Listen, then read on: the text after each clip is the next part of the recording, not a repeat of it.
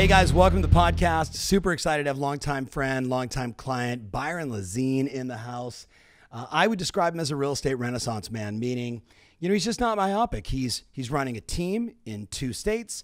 He's an entrepreneur. He's got multiple businesses. He is a podcaster. He's a content creating machine, and he's a masterminder with all kinds of great agents. So he sees the world differently. So Byron, welcome to the show thank you for having me back. I believe it's the second time. So 2nd time. Really, really appreciative of, of, the opportunity, TF. Absolutely, man. Absolutely. So I thought, you know, thinking about our audience and who's listening to this, I actually just wrote down lessons from the trenches. I want to talk about team scaling. I want to talk about podcasts and content creation. I want to talk about working in two states, right? You know, sort of, you know, here we are as we're filming this, we are almost at one year since the lockdown. So I think you're not the only person that's done the two state thing. So I want to get into that. I want to talk about tech stack. I want to talk about marketing that works. And then I want to get into the future of real estate because you and I uh, have some similar opinions and thoughts around what's going to happen in the future. So for the people that don't know you, maybe just take a minute and just give them a little context for who you are, what you do, what you're all about. Yeah, like from the beginning or just right now, where we are, are at right now? Yeah, let's go from right now. Okay. Yeah. Right now, running a, a, team which has been accelerating in our growth in, in, terms of who we're bringing on, who we can help in their career path. You know, Lisa Chinati, who has been on your podcast, and uh, she really kicked my butt into gear last year. I mean, we are having a great year, but she said, Byron, it's time for you to stop being so vulnerable to low numbers, meaning low numbers of, of agents on the team. Yeah. And I agreed with her, not just uh, for me personally, but for their business as well. Our ability to grow depends on adding great people around them, continuing to feed our new agent program so that the experienced agents have the benefit of us going out and getting more channel accounts, of us taking more market share, That's of right. us putting billboards up like we did for the first time in quarter, uh, actually starting this this month in March so uh, of this year. So yeah, my my number one goal is operating and recruiting to a specific number this year. The the Connecticut team and and continuing to help people grow there. I also have a media company which we produce all of our own content as well as other teams and a builder builder association in Connecticut and then my uh, brokerage William Raveis. We've got some pretty cool products coming very soon there as well. And, and then I'm in the infancy here. I'm sitting in Naples, Florida, uh, of what I'm going to be starting down here. Nice, man. So again, as I as I said in the beginning, you had a lot going on. So so let's let's go back to you and big shout out to Lisa Chinati and the conversation around, hey man, it's time to scale. It's time to stop playing small. Like there's probably somebody listening to this right now that that Byron like they've been hearing me, you know, stomp speech, scale, team since like 2015, right? Like when I really came out and said, hey, these are the big seven things we got to pay attention to. Teams are going to dominate the world, and eventually teams are going to start selling, which we certainly know they have the last five years. What do you say to that person that is like in, in their heart of hearts, they know they should, but they're just resistant, maybe as you were, as Lisa called you out?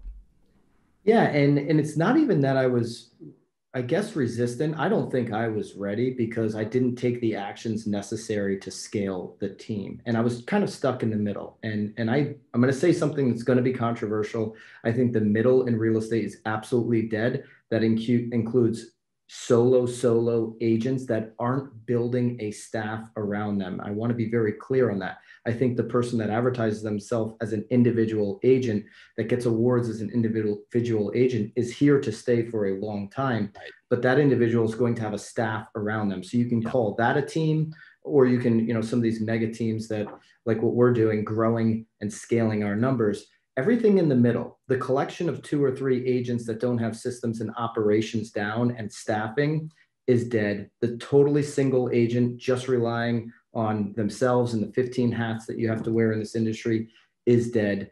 Uh, Zillow's kind of cutting that middle of, of the industry out. You've got to be really good and scaled on the team side, or you've got to be what used to call the SEAL team, right? I think the SEAL right. team is now the individual agent with employees. Yeah. Those are the two ends of the spectrum that you, you've got to kind of start leaning into. So there's a lot to unpack there, and, and you and I are aligned in, in so many ways. I, I think a lot about the Amazon versus say Shopify, right? So so you've got these Amazonian esque businesses in our space. And you could look at that and say that could be Zillow, that could be Realtor.com, that could also be Realogy, that could be Berkshire Hathaway, like these behemoth companies. I I agree with you that you know the end of the single agent if they don't have people around them. I just don't know if I just don't know if it's going to play out as quickly as we think. I think that could be seven to ten years from now because the heart and soul of real estate right now is still that hyper local person. You know, it's Susie, it's Billy, it's Jose, it's it's you know Martha selling a house someplace with the support of their brokerage. Yeah, right? on the on the flip side of that, you see Opendoor saying we want seamless online right. transactions, and Zillow saying the same thing. And these are all buzzwords because, right. to your point, these seamless end-to-end online transactions have not happened without the help of great agents. Exactly.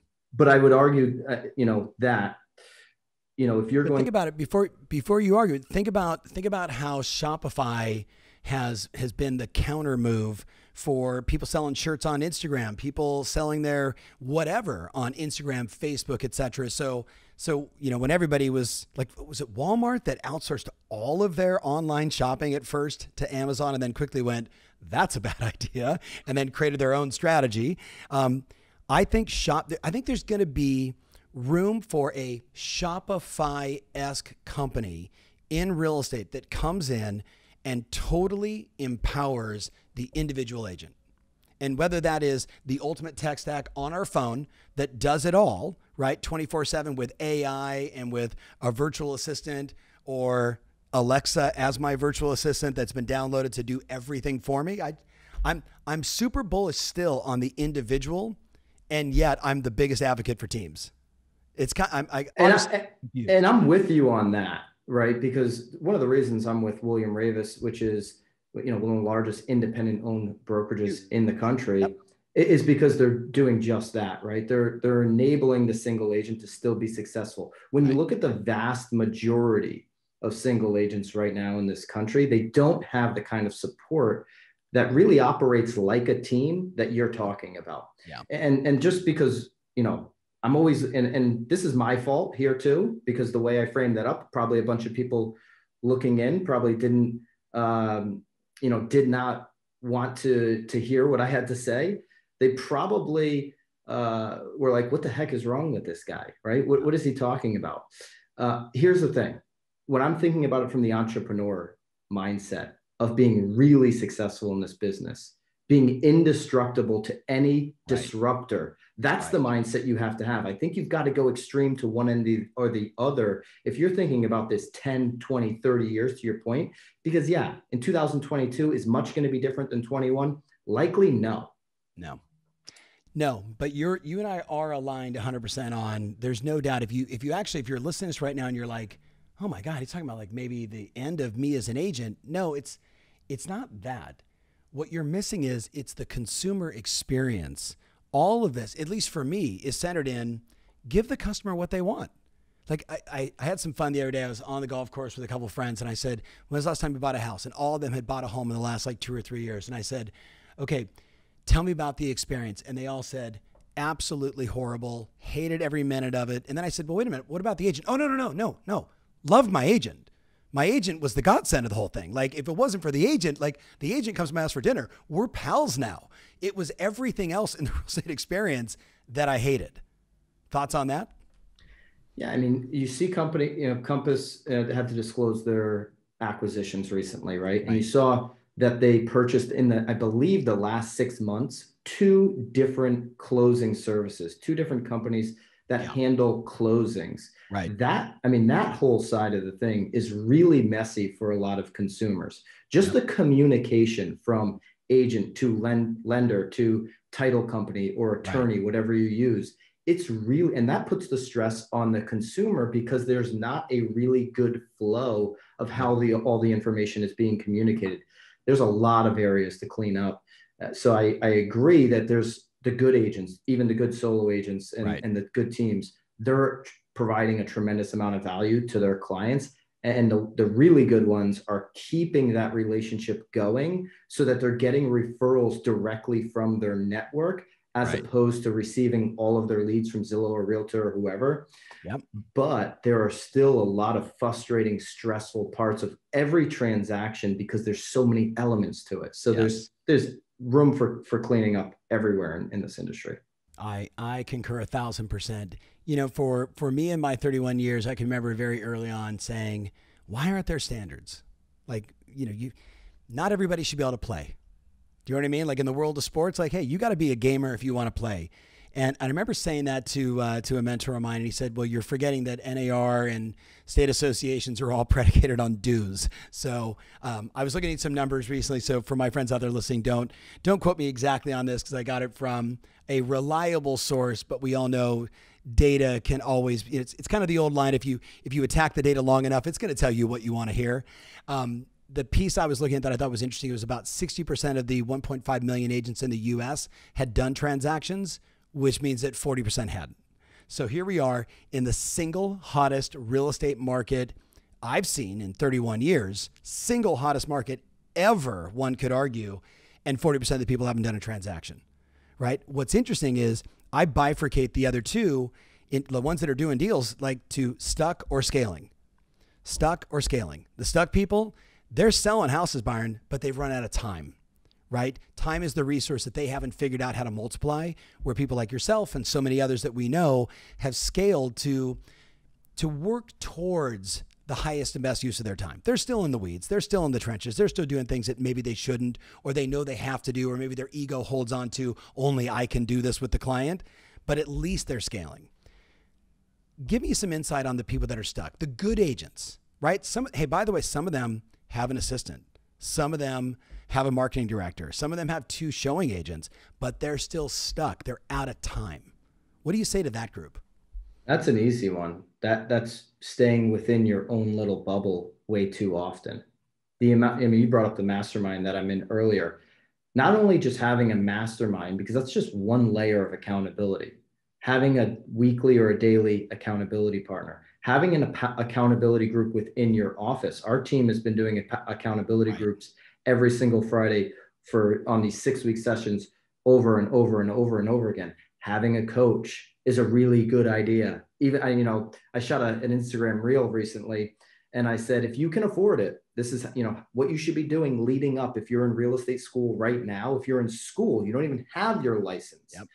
If you can afford it, while you're in school, get the coach before you even have the license. Right. Right. So I've got all, I've, I've built all these layers around my business of people continuing to push me forward every single day.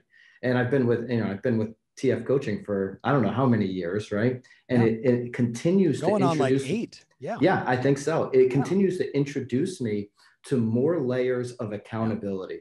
Yeah. And, I, and I think you've got to look inward on, okay, how accountable am I really being to other people? My wife's an accountability partner, our vision board's an accountability partner. I've got over 10 layers of accountability in my business every single day. So when you're stuck, you need something to push you out of the mud.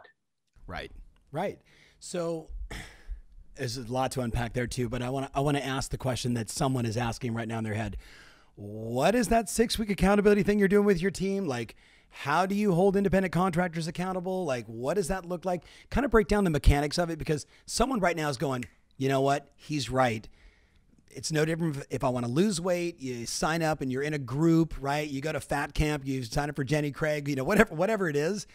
Everybody performs better when they've got some accountability around them. So unpack for us sort of tactically, what does that team accountability look like? listen, our top producers, you know, we, we've got agents doing over 15 million a year. And those top producers are in the accountability sessions every single group. So we keep putting these six week groups out there completely optional. Yeah. Your free will to join yeah. them. Yep. And you're getting an accountability partner every single week. You're declaring exactly what your commitments are going to be for that week. Yep. And some people have, hey, I've got a six week commitment. Uh, some people have, you know, just a week to week commitment, health, personal, mental. I mean, right. people have, have caught up on taxes in this group. People have like you know quit doing you know bad really bad personal health habits yep. lost weight i mean there's been some real needle movers for people's personal lives not just their business right yeah. and so the way you do that if you're i mean if you're talking about that stuck agent that's maybe a solo agent and maybe they only have you know two people working with them uh, an admin or, or whatever the case may be start to you know put this together on zoom right? Like everything is on zoom through the people that you know. If you're in a coaching you know if you're in tom ferry ecosystem you know i'm certain you could grab 10 to 12 people. That's kind of what we found. It's it, you know 10 or 12 yeah. people's kind of a, a, good number for these. We're doing them all still on zoom. Or you know we're not doing them in the office and they go you know half hour on fridays 11 30 to 12 sometimes we go a little bit over if we're going going really deep.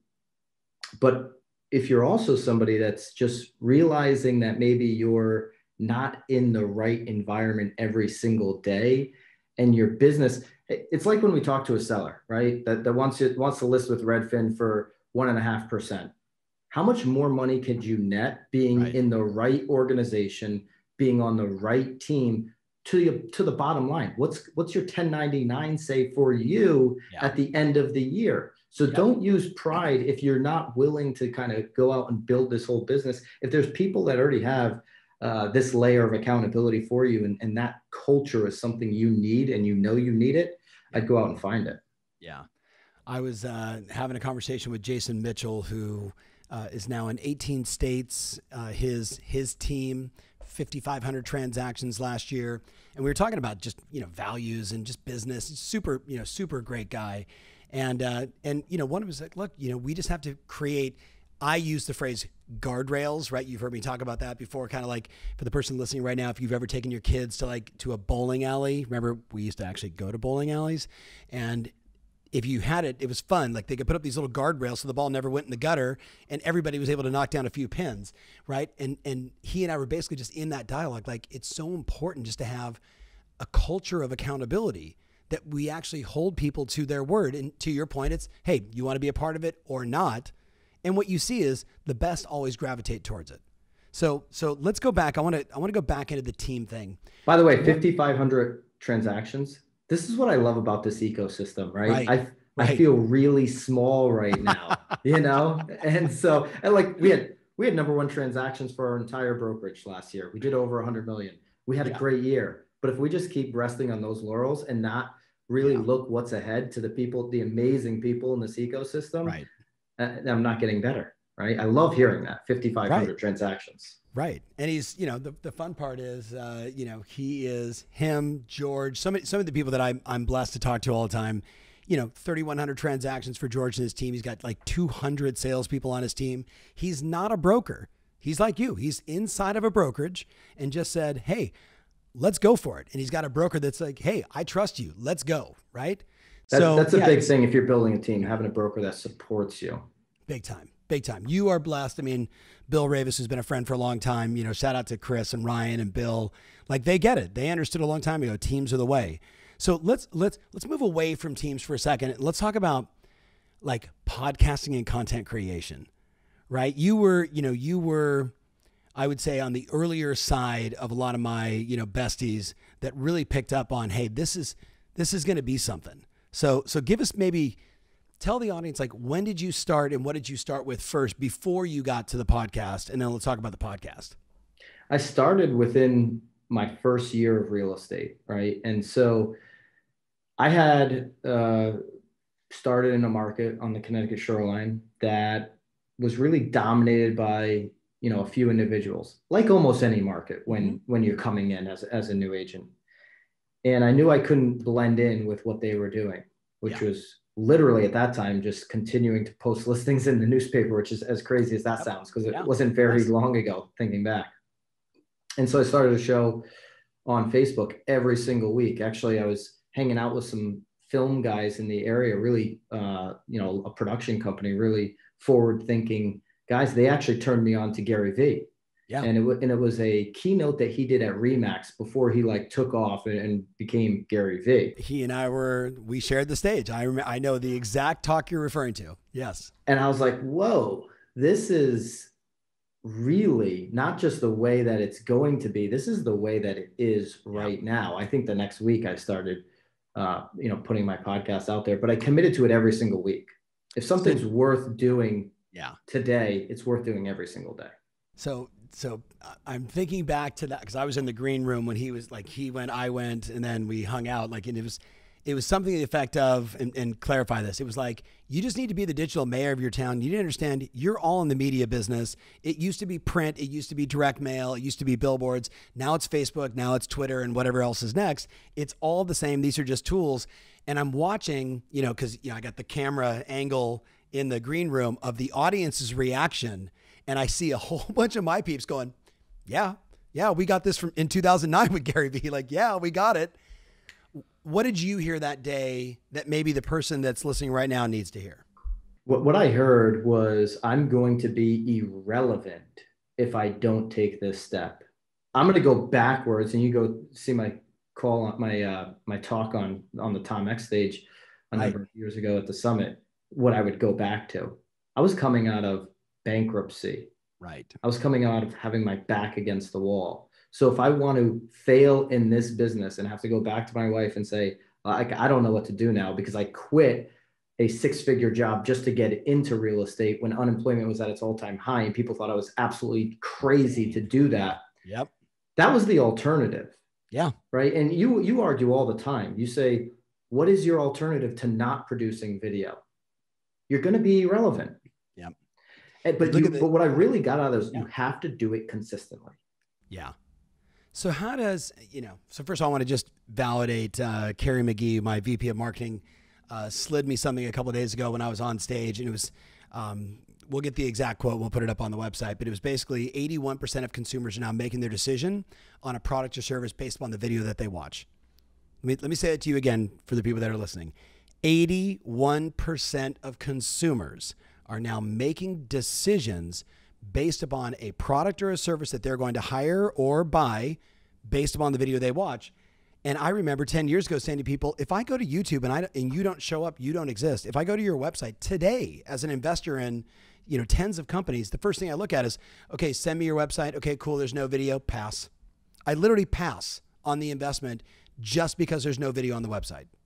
It makes sense. And you invest in a lot of companies. So there's a lot of people missing out if they're not putting video up. So so how does somebody, you know, look at you've got a production company, so I want you to dummy it down and say, okay, like you didn't start out with a production company or may or maybe you, you know, right? So so there's someone listening right now that's like, yeah, I know, but do I need all this stuff or can I just use my iPhone? No, you can definitely use your iPhone and you should. You should focus on lighting and audio quality well before you get any camera because really the camera stuff is it's not important at all. Look at what Zachary Loft is doing. Uh, I call him Loft, but it, it's Faust. Uh, he, he, always yes. has Loft on, on the back end yeah. of his of yeah. his uh, Loft, TikTok Loft and yeah, Loft Real Estate down in Delaware. Shout out to Zachary. But Zach's doing most of his content on his phone, and he really blew up on TikTok. 1.6 million on TikTok. I believe the most followed real estate agent on on TikTok. Yep. So, and I would, I, I leaned into podcast heavily because I like long form conversation. I like clipping out short little clips, putting those on Instagram. That's my style. It makes me feel very comfortable. Yeah. I'm now starting to put on Instagram reels though, Tom. I'm watching and my IG, all my content is getting much better engagement because I'm playing to the algorithm and because I'm actually just taking my phone and I'm doing the all the editing and everything in the app like the way they want it. The broke agent talk Eric talks about this all the time. Yep. Like if you want to really get good on Instagram right now, get into the reels and edit inside the app. So I would start with whatever you're comfortable with, whether that's long form podcasts, whether that's five minute educational videos, Q&A, take the 52 questions, the last 52 that you were asked in your email, start a Q&A show. There's 52 weeks of content right there for you. Or if you're like Zach and you're really good at these short little 15, 30 second bursts on TikTok or on Reels, start there, but do something consistently every single day. And if, and if you're really good at Reels and TikTok, then start doing the podcast later once you've really gotten that down and you're doing it every single day or vice versa. Yeah. But definitely start on the phone uh, and, and light, I mean, I walk around like this office doing my reels. There's plenty of good light here with, with the Florida sun. So it's pretty easy wherever yeah. you are too. There's going to be somewhere you can get Yeah, or or the ring light that's sitting in front of me here, or the little mini ring light that I put on my laptop when I'm you know somewhere. So my I have a ring at my house also, but you know sometimes I just want to chill in the living room, do a quick Zoom call, put on a little ring light, bam, I'm in the game. I, I agree. Lighting and sound. Um, you you rattled off a couple really good points, and I want to just I want to unpack a few of these for the people that are listening. Um, I remember sitting with my buddy Kirk Kessel, right? Huge shout out to Kirk, and so I don't know what just happened there. We'll do a little little edit because all of a sudden he vanished. All right, so so shout out to my buddy Kirk and his partner Dwayne. They were like, "Well, we don't even know what content to create," and I said, "Okay, guys, between the two of you, how long have you guys been in the real estate business?" And they were like, "62 years." I said, "Okay, great." Could you guys sit down and think about 62 lessons you've learned in selling houses in a combined 60 and like literally Byron them like this? Got it right?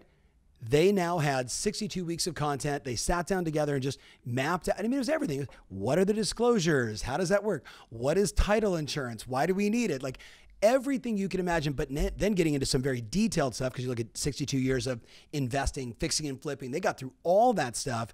And the interesting part, like, because Kirk's one of my closest friends on the planet, he said to me, it, we still compete at times on listing presentations. He's like, but the vast majority of the people are just like, come list my house. Like I've, I've seen everything. You guys have answered every freaking question I've ever had. You clearly know exactly what you're talking about. List my house, right? Have you experienced some of that? Do you do you do you find it? Does it grease the grease the wheels or whatever the phrase is? Absolutely. And my my first YouTube show, which was crappy, I was editing it myself. I was doing it on Windows. I don't even know uh, what the I got what the Tristan software dying was. laughing. Yeah, he's definitely laughing. I mean, a guy like Tristan, would just be he's embarrassed for me. Um, yes, he's nodding yes. But listen, I was getting absolutely no views, no traction mm-hmm. on YouTube. But I was I was emailing it out. I was you know I was putting it out there on Facebook. I, I was doing whatever I could to organically get it. I wasn't running ads or anything like that. Yeah. The very first development I ever picked up was off of that YouTube show, and these these sisters uh, they sent the video to their brother, who is a developer who had the same agent. His dad hired their agent. Wow. And they had the same agent for over 20 years. And in fact, that agent sold 67 of the 76 homes in the development. There was nine left, but he hadn't sold one in over 12 or 15 months. So they were looking for a change, even after 20 years, even if after that relationship, because there was no creative marketing. There wasn't any, they didn't feel like they were getting the buyer of, of today. And so that got me a meeting on my first development, that video. And, and it was, you know, it was a one meeting deal. And I ended a 20 year relationship for the other agent. It can happen very quickly. You don't have to worry about followers or any of that stuff. You've got to worry about getting the message out there so you actually have a chance to have a conversation. And then if you're working on your, your conversion skills with your coach or, or with your team, then you're going to have a chance to actually win the appointment. Yeah. I would uh, I would ask everybody to think about um, sort of post our January elite. I asked one of our clients, Sarah, down in Miami, to to just share like in in eight or nine minutes, like what's really working for you on Instagram. And you remember, she said, I did this thing called 30 questions in 30 days. And you know, Sarah's got a big personality. Shout out to Sarah if you're listening, right? So I have now seen I, just just in people that are tagging me I would say north of a thousand agents that have now taken on answering 30 questions in 30 days just by grabbing their phone, going on Instagram, and saying, Hey guys, one of the questions I get all the time is, you know, why are there so many offers right now on a house that's under 500,000? Well, let me explain. And people are like freaking out how much how many views they're getting because they're they're actually for everyone listening right now. If you're in Canada, 48% of the GDP of Canada is housing. Let me say that to you again, guys. Almost 50% of all the revenue in Canada is housing. It's bonkers. If you're in the US, it's 17 or 18%, and everybody has an opinion and a thought and an emotion about housing. It may not be the right moment for them today, but if you're answering these questions and you're being relevant to that person, like it's like you're gonna you're gonna get into their DMs. You're going to get into their mind share. You're going to be on the consideration set. So I challenge all of you to do it. But what else would you, before we switch gears, because we got a lot of stuff to cover, we've only done two. I want to play, I want to just tie off of that real quick here. And as you do this, you've got to do it consistently. As you do it every single day, week, yep. month, yep. you're now going to be able to point your content in the direction that your business is headed. If mm-hmm. you go on my Instagram right now, you're going to see over the last two months, all of my content is pointed towards new agents. How do you be successful in this business, right? right. Because we're in a massive recruiting, recruiting. push yep. with our team. So I'm talking about helping your business, uh, what you should be doing once you get your license in your first year in, in the business, in your first two years in the business. And what do you know, Tom? Recruiting has become a lot more easier over the last two months because I'm talking about it consistently and they see that on Instagram and LinkedIn and all these different places. And and for everybody listening, you might say, "Well, I'm not recruiting." Well, great. Then what you need to be talking about is how to sell your home and only move once. How to get the highest possible price. And if you're talking to an agent that doesn't have six different ways to keep you in your house, get you all your cash and get you into the next house in one move, then we should talk. Like that kind of content right now is and I want to stress to everybody and Byron, you know, give me your thoughts on this. You said it earlier. It doesn't matter how many views you're getting and I would say 1000% yes because remember everyone that's listening, if you if you get 300 views on a video on Instagram, ask yourself how long would it take you to call 300 people? How many how long would it take you to knock on the doors of 300 people to actually be able to say, "Hi, my name is Byron and I sell real estate." And, and even if they hang up, how long would that take you versus the 60 seconds you went live or the, you know, the 1 minute video that you shot? So don't be attached. Think about it as purely a way to scale your brand. Every Thoughts? long, yeah, every long form video we're doing should be a, there should be a 15 second version. Not now, I always used to say clip it out and post right. it on Instagram. No, no, no, no. Take that long form video and do a 15, 30 second version of the bullet points on Reels. And then you're right. going to feel really good about the views on Reels because maybe it gets 15 oh, yeah. views on YouTube. And right. what do you know? It'll get you 1,500 on Instagram. Reels if you position it correctly. So you can feel good there and yep. you can reach more people. Every single piece of content, like the 62 lessons that you're talking about with Kirk. Yep. I'm turning all 60 of those 62 of those into reels. Big time. Big time. Everybody just needs to pay attention. Um, you know, this this goes back to, you know, when uh, so some pals at Facebook were like, look, dude, we're gonna send you this little app. And I forget the name of the app, but it was like it was predating going Facebook live right? So it was the creators app. Gary got it, I got it. And I'm like, wait a minute. You mean if I hit this button, I can go live and talk to like 80,000 people? I'm like, first of all, I actually was honestly very intimidated. Like, oh man, I can't screw this up. You know what I mean? And then I was like, screw it. Bam, hit the live button. And I'm like, holy shit. Yeah, you kind of do that for like, a living.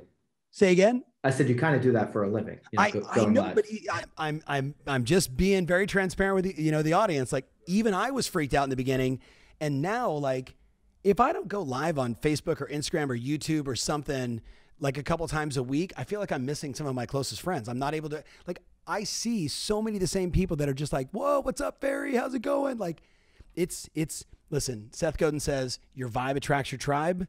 You go live, you attract your tribe. Yeah. And, and listen, your people would look. I don't know how many IG followers you have, but it's hundreds and hundreds of thousands of followers. And some people just want to get to a certain number so that they can mail it in. No, you're still doing the hard work right. on social, which is going live consistently so that you can actually get in everybody's feed organically, right? right? You kind of re-jerk the algorithm every time you do that or every time yep. you post a reel because there's a lot of organic push behind that. You've got to, there's so, there's way too many. And listen, we've got a media company and we're trying to help people, you know, outsource some of their problems. But there's way too many team leaders not willing to do this themselves. I post, I have a media company and I post 100% of my Instagram content, 100% of it. Yep. There's yep. too many of, of leaders. And I'm, you know, listen, sometimes I think I'm too busy too, and I'm really not there's too many of us saying, I, I, I need to outsource. I don't have time for this. Right. No, no, no, you have to make time for this. Yeah. Yeah. I say everybody's got time, you know, in your car on the way to an appointment, after you close your laptop, after a Zoom session, you know, like it's just an excuse. All right, let's let's move away from that. Let's talk about marketing that works. So so you have gone through quite an evolution of how you're marketing yourself, how you're attracting clients. Um, if I said to you, like high level, how many lead sources do you have that produce more than 10 transactions today? Could you could you just kind of like from memory walk us through like I do, you know, obviously my past clients in Sphere, obviously Zillow. Like it's definitely double digits. Yeah, we're I mean we're yeah. Zillow growth partnership. We have our Google ads we're running. We, we've got the Google service, uh, you know, the local service leads. So those are two different lead yep. sources there. Yep. Uh, Ylopo with with Facebook retargeting happening. Uh, our own internal Facebook leads. Uh, obviously, Sphere. Sphere is still a huge part of our of business because it because the amount of and I argue that content really infuses that. Um, open houses, we're still doing open houses right now safely, in, you know, in Connecticut pretty consistently. Our new development brings us a ton of leads. Uh, so yeah, we're uh, over 10 for sure if I run down the all right. So so if you were listening to somebody else, I'm going to go back to the the stuck scaling conversation, right? So any anybody in either one of those groups, what they all want is more listings right? Everybody wants more listings. Everyone in their right mind should always want more listings as long as they're in this business. Now, you and I both know with Zillow Growth or Realtor VIP or HomeLight or you know uh, Quicken Loans, Rocket, like uh, like there's so many channels now that are providing explosive growth for agents. Beyond that stuff, talk to us about what's working right now to win the yeah, listing. Like I've got an easy one. Oh, to to get the listing appointment. Yeah, I've got a really easy one. Everybody should be circle prospecting right now. Everybody's got so many buyers and and and nowhere on, to dude. place them. Hold on, hold on. Mr. Technology, Mr. Media Company said circle prospecting. That's like 1962. I love it, but we know what works. Yeah, it's setting the most listing appointments for us right now from new agents to experienced agents. Yep. Uh, we had we had an agent the other day on the dialer. Shout out to Emily. She uh, had four listing appointments on one session on the dialer, just with a really simple script. Hey, this is Emily over with One and Company at William Raveis. Uh, I'm working with dozens of buyers right now. In fact, a couple of them made offers in your neighborhood. I don't know if you know about 123 Main Street that was on the market. Now it isn't. Just curious if you know of any of your neighbors who are thinking about selling their home in the coming weeks where I could introduce them to my buyers, right? Just a simple script. And right. what is she doing? She's uncovering the people that are saying, well, well that's me. I'm actually thinking about, yep. she's, she's finding the needles in the haystack because she's calling the entire neighborhood over and over and over again. Now, what is she also doing? She's providing huge value to her buyers, which is really tough to do in this market with, with right. low inventory. She's out there working, doing the hard work for the buyers, mm-hmm. and she's adding value to her community because she's providing information to the sellers. She's untapping inventory, you know, sooner in the process. They're thinking summer and spring, yep. which is historically, you know, like in Connecticut, she's in Connecticut, historically when you should be uh, putting your property on the market. No, you should be doing it right now. I think we're at the tip of the iceberg in, in that market, but that's a whole different conversation. So circle prospecting, I'd take it the next level though. I would go ahead and go live from that neighborhood and i would and i would not start with this is byron i'm going to go live i would start with i'm working with mr and mrs jones they've made three offers in this two mile radius they've lost all the offers because of this then i'd say i'm byron lazine then I'd get into their story. Here's the three problems they're having. Here's the three solutions we've come up with. Share this video with somebody who can help them. Share this video with somebody in a similar experience. And I love that. And I'm assuming you would you would literally be like, I'm sitting here in Irvine Terrace in Corona Del Mar, right? You're gonna name like the community, the city. So people are like, oh, that guy's down the street from me. He's talking to me directly. And and by the way, if you guys didn't pick up on that little insight about say what you're doing before you introduce yourself is key because they may only get three seconds. And at least in the three seconds that you're going to be in that person's newsfeed, they're actually going to know what it is that you're doing versus who you are. There's always a place though for who you are. Hey, it's Byron with One and Company at William Raveis. There's always room for that. But in this specific hack, that was brilliant. So circle dialing, going live in this specific community. What else is getting listings? Uh, what else is getting listings? So all the channel accounts that everybody has, you know, people that do have channel accounts, if you're Can asking you find channel accounts? I know Yes. what you're referring to, but if someone's going to be like channel, if you're a Zillow growth partner, or if you're getting leads from Realtor, or if, or if you're getting leads from Homelight or any of these places, a lot of them are coming in on well, Homelight's going to come in on, on the sell side, so that was a bad example. But the ones that are buyer heavy, Yeah.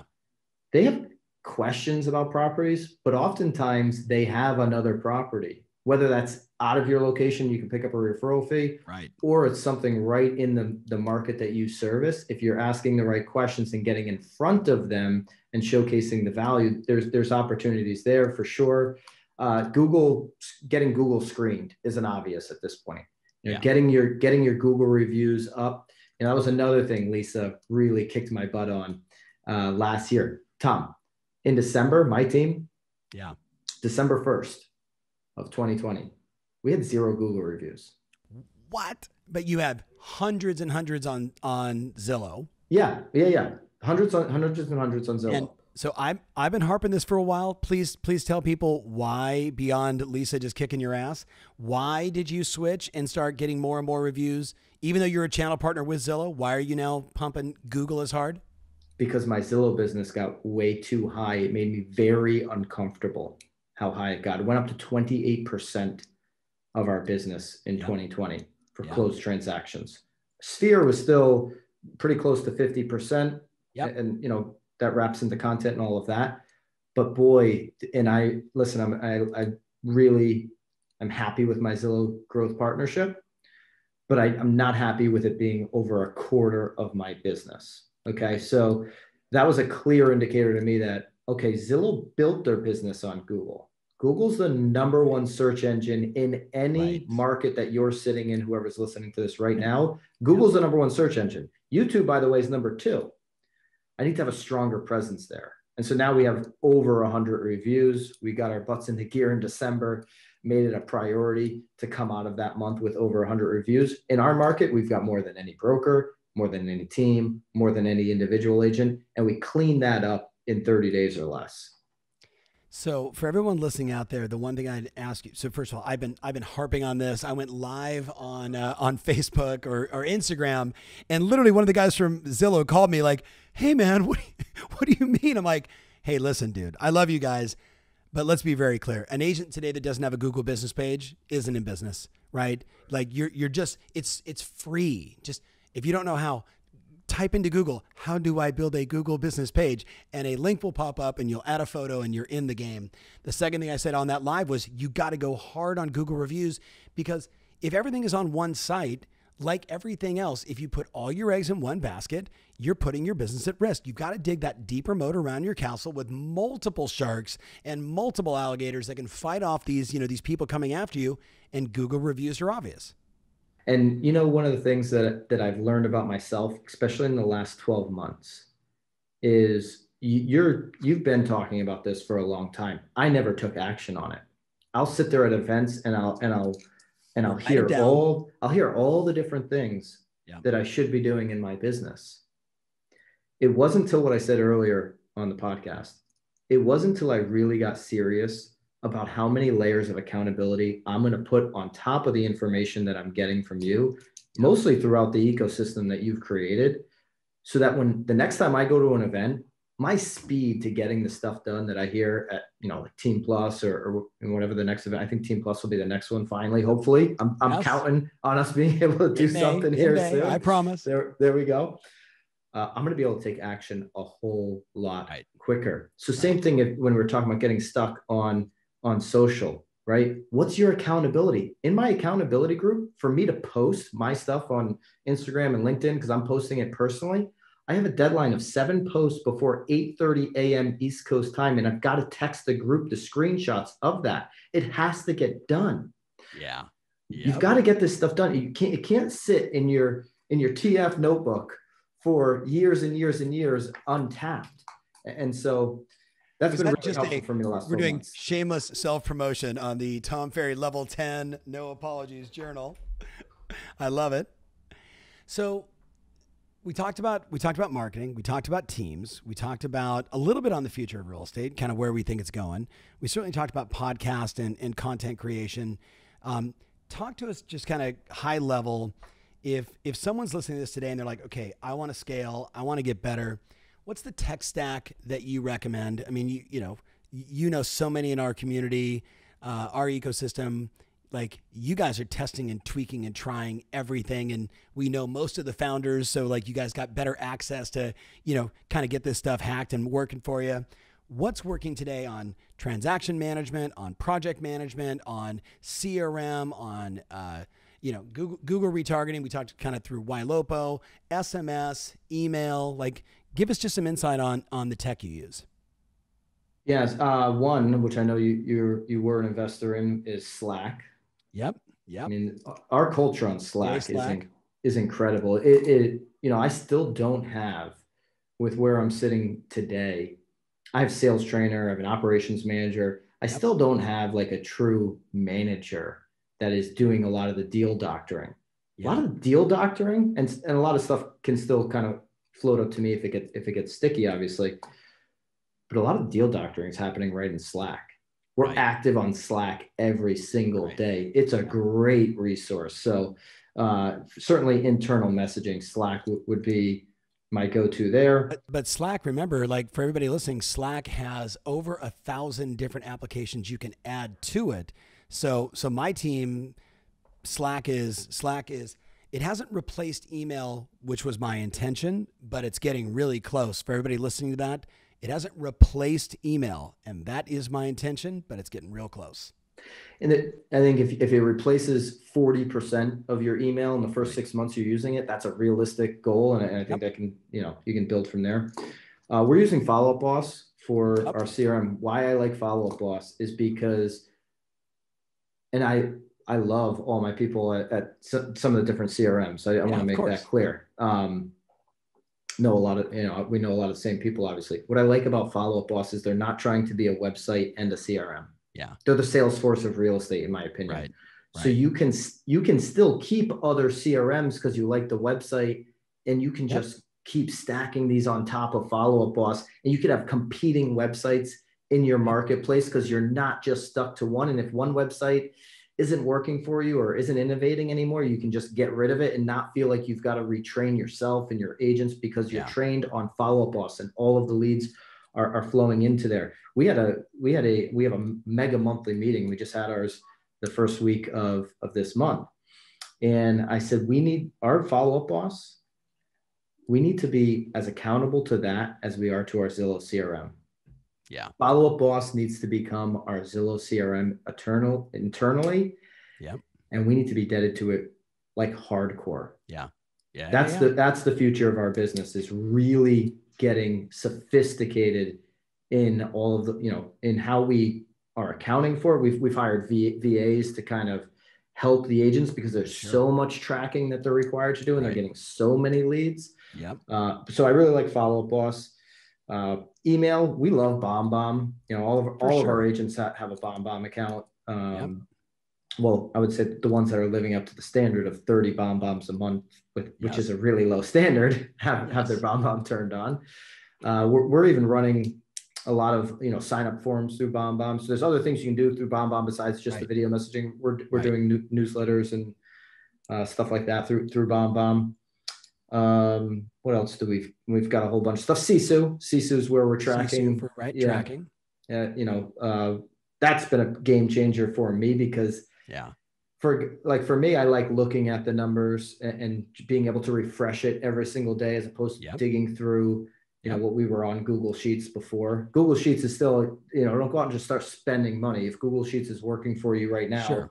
and it's not an investment you have to make, go, hey, go ahead and keep Google, doing that. Google Sheets, Excel spreadsheet, just not just not yellow notepad when we're talking about the level of analytics that we want to be able to look at in our business to know the leading and lagging indicators. What's our future revenue? How are we doing per lead source? I mean, it's yeah, Brian, who's a is a pal, like the CEO and founder of that company, like they're spot on. But they're very for everyone listening, they're very team focused, right? They don't really they don't really apply to a solo agent um, unless you you have like my client Shauna, you have five assistants and you're doing 80 transactions and you've got multiple pillars of lead generation, then it applies. But the solo agent listening, don't look at Sisu. No, no, probably stay in Sheets or CTR is cheap. You could you could go right. there, but right. Uh, what about project man? What about project management? How do you guys? I mean, you've got you're an idea machine, right? But we know it's all about you know like the old school method that I taught you guys 100 years ago, do, doing, and done, which is what Walt Disney and Mike Vance and all those guys used. What what project management, if anything, are you guys using now? RE3 Media is using Monday.com. They yep. love it. Uh, yep. I just kind of see reports on it, you sure. know, twice a week. And then we have uh, Sprout Social over there for for social management. Yep. Project management on the operation side. I mean, honestly, I'll go back to Slack really because sure, because sure. everything is communicated through there on the ops side uh, of the real estate business. Um, there's probably something I'm forgetting, and Carolina, my ops manager, would be like, "How did you forget that?" But right. I'm sure there is something else. Yeah. Calendly, Calendly is a big one that I'm in all the time because uh, for our recruiting fund, we have three separate, you know, interview process. Calendly is a big part of that. If you're an individual agent, mm-hmm. guaranteeing your communication to your seller through Calendly every single week. You're going to get an email. You're going to have the opportunity to schedule a call with me every single week. If you don't get that email, you can fire me on the spot. That's my communication guarantee to you. Yeah, that can be a really good resource for you and so, easy so and free just really fast for everybody. Calendly is an auto scheduling app that you basically say I am free at all of these times. If a buyer or a seller or somebody wants to communicate with me, they can just schedule a meeting. Think of it the way you do today, like when I go get my haircut. I don't call there and say, you know, hey, is Phil ready at three o'clock? No, I go on the app. Phil's ready at three o'clock. I book my appointment. It's automatically put in my calendar. That's what Calendly does. And I just got to make a public statement. I didn't invest in that company and I'm pissed. It's, yes, it's such a great company. Let me tell you one that you, you all should look at Transactly. Transactly. Speaking of another funny name company. Well, uh, we're using SkySlope. Is, is this something similar to SkySlope? It is. Or? It is. Okay. Uh, SkySlope, Transactly. There's a there's a few of these companies that do for individual agents beautiful transaction management think closing services right managing the you know not the emotion of your client but the process of the closing uh, what i like about what they've done is they've created free software for everybody then they say, and would you like a virtual assistant to do your transaction management for you, saving you 11 hours on average? And they can outsource. They've got, you know, hundreds of VAs right around the world that can do the transactions. So big shout out to Brian and the guys at Transactly. I would also say to everybody on project management, Trello.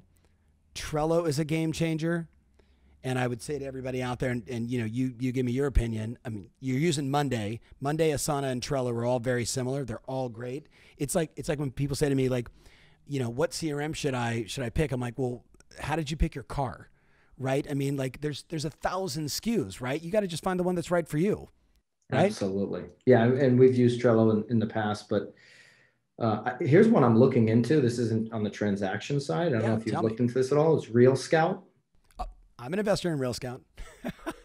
we we could there could be a drinking game called "What company is Tom Ferry invested in in real estate?" Yes, uh, real. Okay, so t- so talk about Real Scout. Yeah, so Kevin got me on a call uh, recently. Kevin Kevin was over at Planomatic for a number of years. We've had a relationship yep. over, over the years, and um, I don't know Andrew as well, but he's yeah. he's the CEO there. Yep.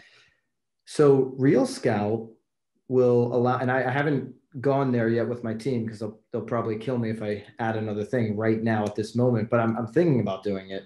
Um, Real Scout will allow you to see how many buyers are in that market. So talk about the ability to win right. when you're at the listing appointment. And, and the way I'm looking at this, because they're going after the big brokers, yep. it's almost going to have, it's going to become the cost of entry at the listing appointment. I said this to Kevin, I'm like, dude, you're, you're forcing me to get this basically because you're going to go out and get all these big brokers and everybody's going to have it and we're not going to have that piece of information right. and, right. we're not going to have that data for them yep. and then we're not going to get the listing because we don't have the data uh, it also is going to and their big you know the big part of it is it's going to send uh, instead of the mls search it's going to send the, the properties to the buyers to the right. leads that you're working with in a very beautiful way that looks like it's written from you yep. ai software lining up the right properties in a real shareable way format for them. Uh, and I think it keeps people locked into you a little bit easier than you know right. if they're connected to 10 different agents because they signed up to 10 different things it's also just it's better and more beautiful than just the standard mls search right like just i'm going to put you on i'm going to put you on an mls search and we'll just send you everything and you're like first of all most mls you look at it and you're like is this like Microsoft 1987? Right? Like the UI and UX is horrible. So Real Scout, huge shout out there. Um, I'll, I'll throw one to you, and of course now everybody's going to listen to it also. So I work with a lot of CEOs, right? So you know, you know whether it's Bill or Gino or Dan, who's you know running Georgia, uh, you know the Rands, like just these these killer, killer, smart, savvy men and women running these big brokerages. The thing I'm hot on right now is a company called Lala Point. It's really only for brokerages, la la Point. So here's what they do, Byron. They'll take basically your MLS data, like through like Pat Vealing, if you guys know uh, Pat Vealing, Real, Real Data Solutions, and they'll say, here's basically where you're number one, right? The best at anything you could be the best at in real estate in every zip code or every community in your marketplace. And they'll take that data for you and create beautiful content expressing how successful you guys are in that marketplace. It's bonkers. It's absolutely bonkers. And it's blowing up. It's more of a broker play, but if you think about something like, you know, uh, George Lofton, my client in Arizona, who's did 3,100 transactions last year, not a broker. If he could basically show visually in a beautiful way, in a very thoughtful way, that they're the market leader in all these different spots, that's going to be powerful. Check it out, La La Point. Yeah, and the more the more data that we can be a first mover on, which is why even though my team will kill me, I'm going to probably go into Real Scout sooner than later because right, right. our ability to have solutions for the yes. consumer right now is yes. paramount. And not a not an investor in Lala Point, but Heidi Hockenberry, if you're listening to this, call me, call me, girl power. So so we talked a lot about tech. We talked a lot about your team. We talked a lot about some of the ins and outs. I love this sort of just you know I wrote down a few thoughts, but I knew you know you and I could probably do five hours of just you know banter back and forth, and you know people are going to find moments of that fascinating and entertaining, and other parts I'll be like, oh, I'll come back to that later. Let's talk about real estate of the future. You started earlier by saying it's the end of the solo agent. We kind of went back and forth on that. Go a different direction. From a from a consumer standpoint, how do you think the expectations are going to change, not just with a real estate agent, but with the future of buying and selling houses? Like, what, what's your 10 years out, 20 years out? Where do you see the world?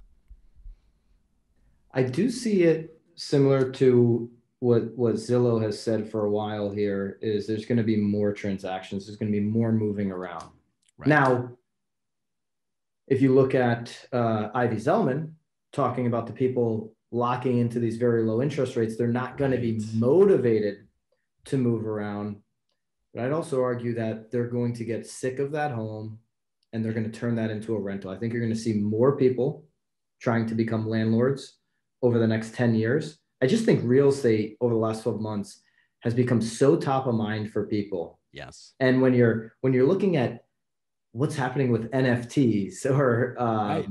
you know all these different like NFTs are an endless supply. And I yes. agree there, there's a market there and like Gary Vee says 97% of these are going to fail. That's absolutely true. I would say it's yeah. probably 99% of them are going to fail. Real estate doesn't have an endless supply. No. No.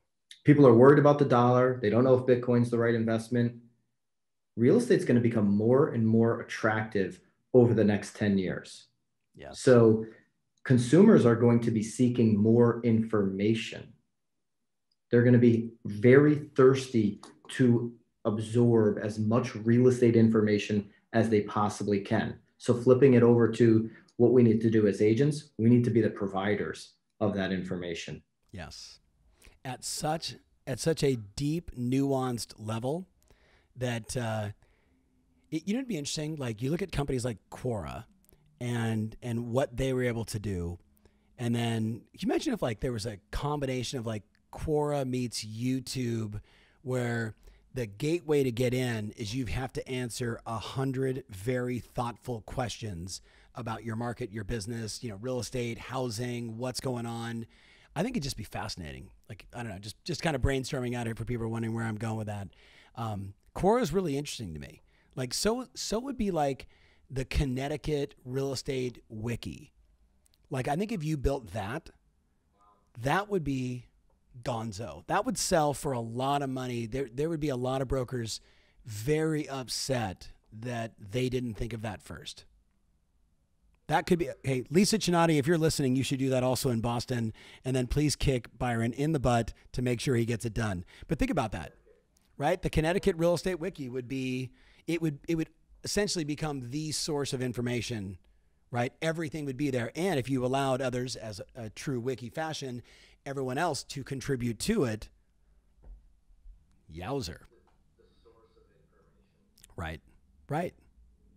I don't know if we should have actually shared that on the podcast, Brian. Just saying.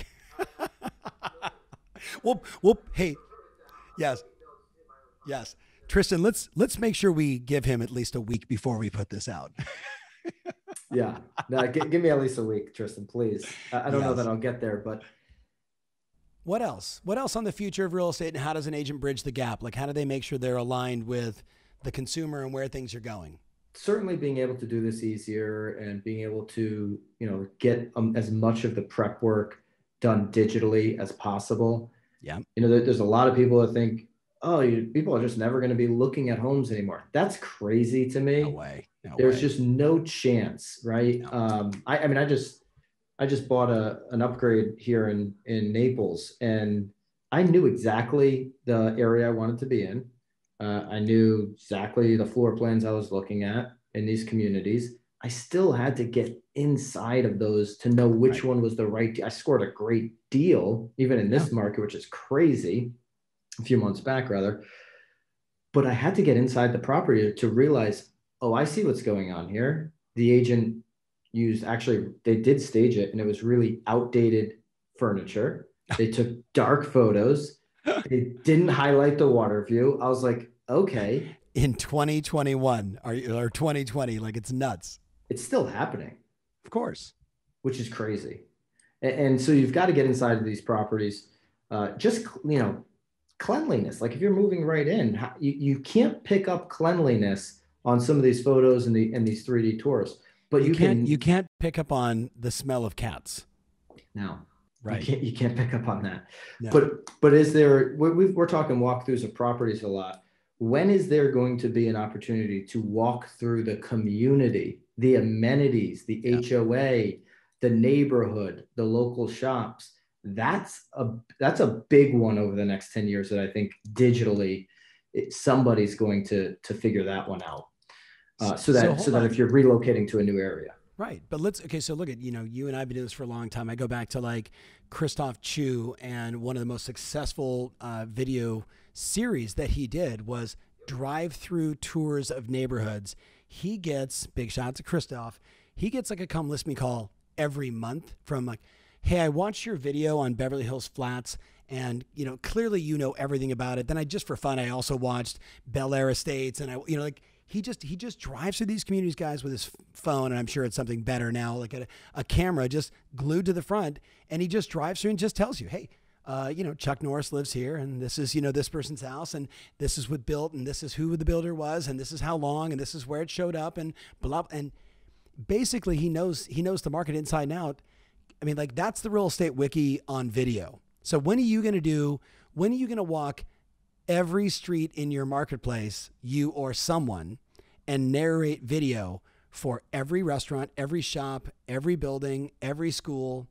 I got another guy. You, do you know Dan Blackwell, my client, the commercial real? Yeah, I love Dan. I mean, we we hung, we hung out at uh, at your place a while back. I right. love Dan. Right. Dan Dan had a mission to he was going to go he's a multifamily broker for everybody listening Dan Blackwell check him out on on Instagram or YouTube his rent report during covid forget it. It was bonkers. It blew up. But he's going to do it. He's like, I'm going to film every building, multifamily building in Southern California and have it on my page. He's doing commercial real estate and his video presence and his delivery is yes. fantastic. Yes. Everybody should go follow Dan on, yeah. on Instagram. Yeah. I, if you're, you know, want to follow multifamily and how it should be done, absolutely, right. Dan. Right. Yeah, and I, I agree with you. Every single agent, including our team, should be recording more of our community because eventually there's going to be a video game style where people don't have to watch your videos about the community. They're just going to be able to walk around right. EXP style all of these communities and check them out and like walk into the digital store, right? Like all yeah. that's coming. And you know, I don't know if that's, that's 10 or 15 years, but that's coming.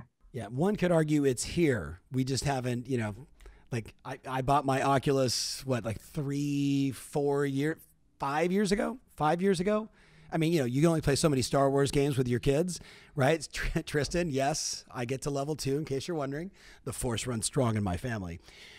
But but that is that is to me a big part of the future of real estate. You're going to put on some device.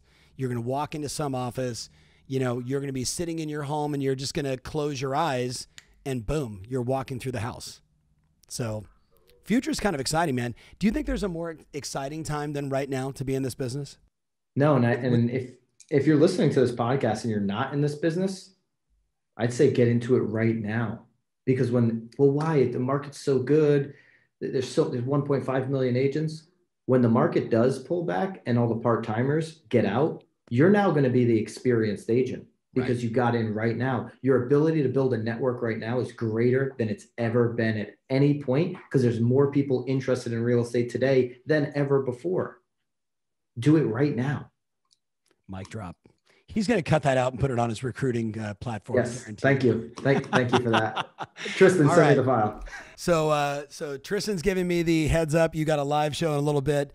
Uh, B Money, we could do this all day. I can't wait to uh, to see you face to face. I am just so proud of you, man. Even from, you know, the the Tom X talk you mentioned, where you just revealed you, you were so transparent with the audience that like someone that's listening right now and you're thinking like this guy, like how can I compete with that guy? Like he's got it all going on. Byron is just like every other human being I talk to. Everybody's got a backstory. Everybody had lots of bumps, lots of challenges, lots of lessons, aka failures, my friends. And that and then you know what you actually get? A little wisdom. A little wisdom. And my friend, you are very wise. Super proud of you. I, I appreciate the relationship we have and the ecosystem you've built. It's allowed me to get a little bit better every day. It's it's been critical in the last 12 months to continue to grow with everything surrounding us. Right. And so I appreciate you, my friend. I'm, and uh, I'm just honored to be back on, on, the podcast. Thank you. Super great. So make sure you follow him everywhere on social and uh, can't wait to see the comments. You know, share this with a few of your friends in the business. Share it with your 18 year old kid who's, you know, smoking weed and living in your basement and you wish that they would go to college or do something. Maybe, just maybe, this could inspire them to say, hey, you know what, mom? You know what, dad? You're right. I'm going to get into real estate. This could be very cool. So thank you guys so much. Appreciate you always. B Money, I'll see you soon. All right, we're out. Thanks for listening to the podcast.